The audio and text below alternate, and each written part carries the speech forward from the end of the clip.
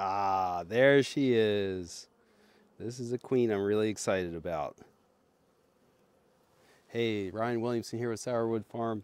I am moving a nuc from a little temporary transport box into a wooden frame box here. And that's a queen I'm really excited about. Uh, been working on a project with my friend Keith White. We're going to call it the Magic Mountain Mating Project. And just wanted to, I'm going to show a video of us up there gathering nucs uh, that we shot a few days ago. And it's been raining ever since. So I brought these uh, nucs down here from the mountains with freshly mated queens. And now I'm moving them into boxes to do some analysis later on. The, the basic idea that's so exciting is that this is a spot where Keith has had really good luck at catching swarms that have had really good mite resistance. And so the, the concept he threw out was, hey, let's take your queens from your tested stock and take them up to the mountains to, to mate with the Magic Mountain Boys. And, and it, it, just seemed really cool because it's it, the closest we can get to controlled mating in a way in this area. It's up in this little mountain in holding that's a little, you know, there's not, not much, uh, should we say, development in that area. So thus less beekeepers and more feral bees that apparently have really good resistance. So what we did is we took up 20 colonies and set them up on a tent platform where they have a hunting camp and there was already a, electric fence which was awesome for bears you know that's obviously a big concern and and we um, that was three weeks ago and we just went back and, and went through all the hives and had thankfully really good mating success. And, and these are you know great brood patterns. Uh, really excited about it. In, in bee breeding, there's a big challenge, which is that the queen can fly. You know, who knows? I've seen a queen mate you know as close as that shed over there. But also they could fly, you know, two, three miles away, four miles away, five miles away. And if a queen's flying that far and mating with dozens of drones, it's really hard to do uh, controlled breeding, obviously, because the other half, you know, the drone half, we, we can't control. And, and thus, people do instrumental insemination.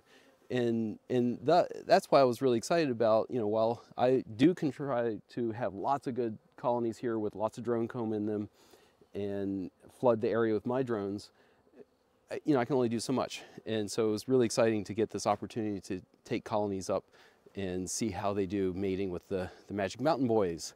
So without further ado, we're going to jump into that video.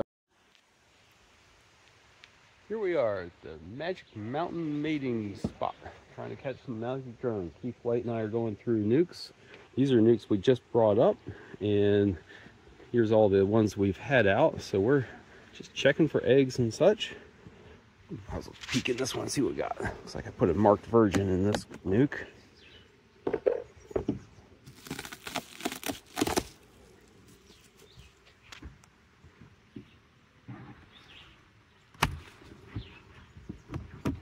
extra frame. This one's a little weaker looking, so that's a little worrisome.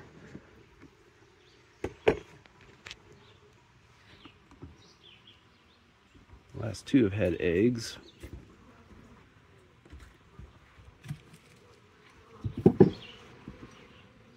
Cool, slight drizzly day, so not ideal day to be going through without smoke.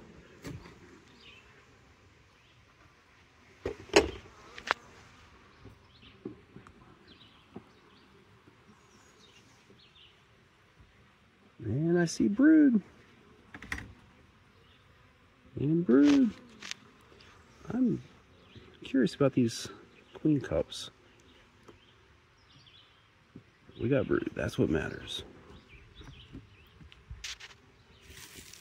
So as we are pulling these out that have a mated queen, we are then replacing with ones that are broodless or just have capped brood and then we're you know plopping in virgins um, looks like I didn't get quite get the door shut on this one so we'll put it in that place okay let's see what's in this one like Christmas a bit stronger so the reflectix is to act like an inner cover just so I don't get as much um, so the lid doesn't stick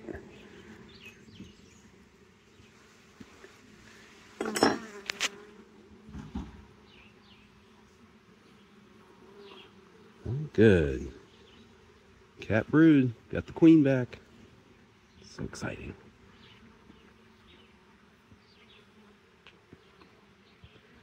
10 for 10 or? All right. I guess we must have a drone congregation area in the nearby. See. oh, what is? That's great. This entrance up.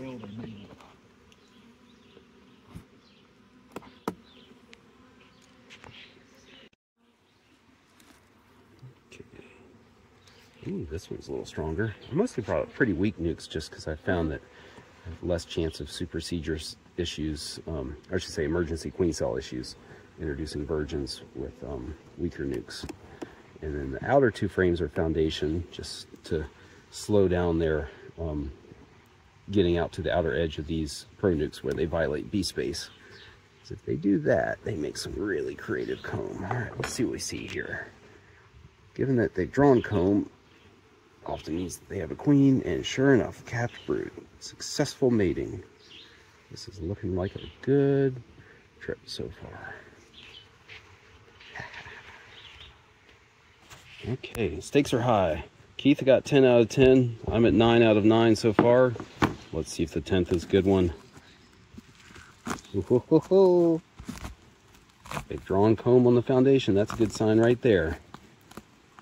Queenless typically doesn't do that. In fact, the weakest one was the first one we looked in, and I'm pretty sure that one had a um, emergency cell and did not take the virgin I gave him, which is why it had not drawn that foundation. Let's see. There's the queen.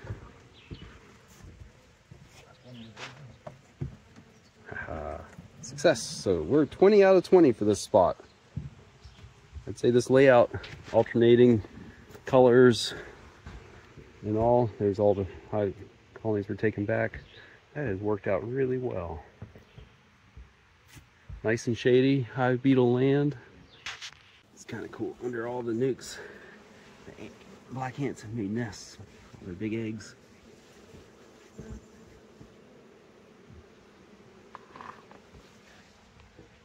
And there we are, set up and ready to roll for the time around. Such a pretty spot. Bear fence is up. Starting to haul out the 20 successful mated nucs. Hopefully 22 that we just set up will be just as good. Goal here is to see can we catch the magic drones and you know catch that side of things using queens that I've tested, so daughters of queens I've tested, and just curiosity to see how that combination works out. And yeah, we'll find out in a few months when we you know are able to you know let these colonies grow up and see how they are treatment free, and we'll do harbo assays and mite washes and all kinds of good fun stuff. So it's it's going to be really fun. Uh, if anything, it was a good experience and beautiful spot to come. And but it, it's going to be a re- really neat. Uh, oh, there's a group of bees just hanging out here, lost. There was a little um, QMP strip that Keith was playing with. He lay down there and they can smell it. That's pretty neat. So anyway, thanks for uh, watching this little experiment, and we'll do some updates in a little while. Take care.